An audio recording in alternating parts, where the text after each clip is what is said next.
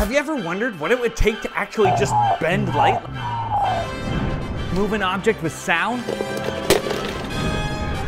something in midair? Big deal! Hey guys, it's Jason Latimer, the world champion of magic, coming to you directly from my home.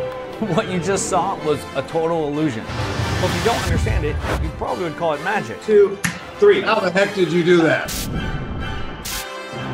The difference between magic and science was nothing more than a difference in understanding.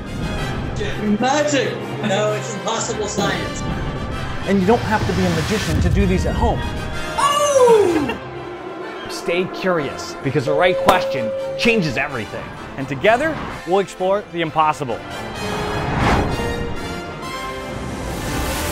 Welcome to Impossible Science.